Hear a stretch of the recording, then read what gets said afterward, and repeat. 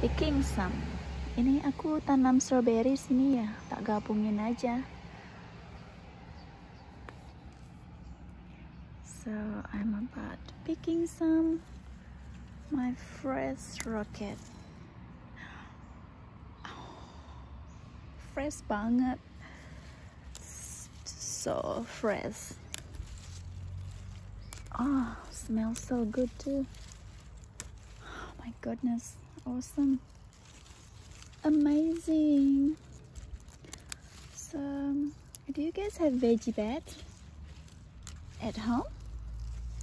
So this is mine. So if you have yours please show me. So I also have spinach Chinese cabbage some basil and then that's just I'm just planting that radish so I love fresh rocket. This is the best. It's summer here but it's been raining for the last three days.